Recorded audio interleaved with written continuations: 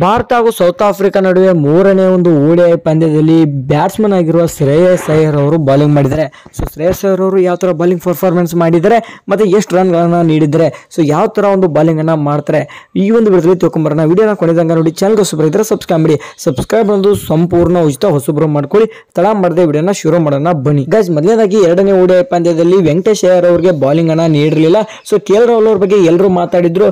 So, ಅವ್ರನ್ನ batsman ಆಗಿ ತಗೋ ಬದಲು ಅವ್ರ ಬದಲಿಗೆ ನಾವು ಸೂರ್ಯಕುಮಾರ್ ಯಾದವ್ರ ಮೇಲೆ ಹೋಗ್ಬೋದಾಗಿತ್ತು. ಅವರು ಬಾಲಿಂಗ್ ಹಾಕೋ ಕೆಪಾಸಿಟಿ ಇದೆ ಅಂದಮೇಲೆ ಅವ್ರಿಗೆ ಒಂಚೂರು ಬಾಲಿಂಗ್ ಆದರೂ ಕೊಡ್ಬೋದಾಗಿತ್ತು. ಜಸ್ಟ್ ಟ್ರೈ ಆದರೂ ಮಾಡ್ಬೋದಿತ್ತು ಅಂತ ಕೆ. ಎಲ್. ರಾಹುಲ್ ಅವರ ಕ್ಯಾಪ್ಟನ್ಶಿಪ್ ಬಗ್ಗೆ ಮಾತಾಡಿದ್ರು. ಆದರೆ ಇವಾಗ ಹಿಂದಿನ ಒಂದು ಪಂದ್ಯದಲ್ಲಿ ವೆಂಕಟೇಶ್ ಅಯ್ಯರ್ ಅವ್ರಿಗೆ ಸ್ಥಾನ ಕೊಟ್ಟಿಲ್ಲ. ಬಟ್ ಶ್ರೇಯಸ್ ಅಯ್ಯರ್ ಅವ್ರಿಗೆ pure batsman Shreyas Iyer. But ಅವರು ಬಾಲಿಂಗ್ ಮಾಡಿದರೆ ಹಾಫ್ ಬ್ರೇಕ್ ಬಾಲಿಂಗ್ ಮಾಡ್ತಾರೆ. ಬಟ್ ಪಾರ್ಟ್ ಟೈಮ್ ಬಾಲರ್ ಅವರು ಯಾವುದೇ ಕಾರಣಕ್ಕೂ ಆಲ್ ರೌಂಡರ್ ಅಲ್ಲ.